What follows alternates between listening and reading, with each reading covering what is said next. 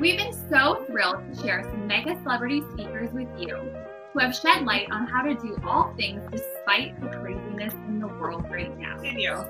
To find your happy. Find your things that make you happy, little small things that boost you up inside because the happier you are, the happier everybody else in your family is going to be. And the more you can accomplish. Because if you don't have a purpose, you don't really have a reason to dig in and continue every single day without a real purpose.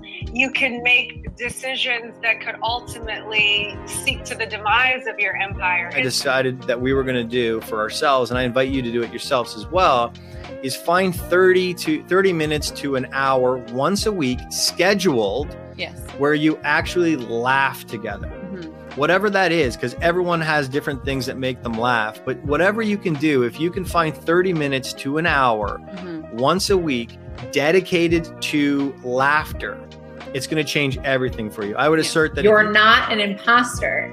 Like you're supposed to be doing what you're doing. So there's so much information that we've gotten and like There's just so much good information and knowledge. So we just we just really appreciate you sticking here with us till the end.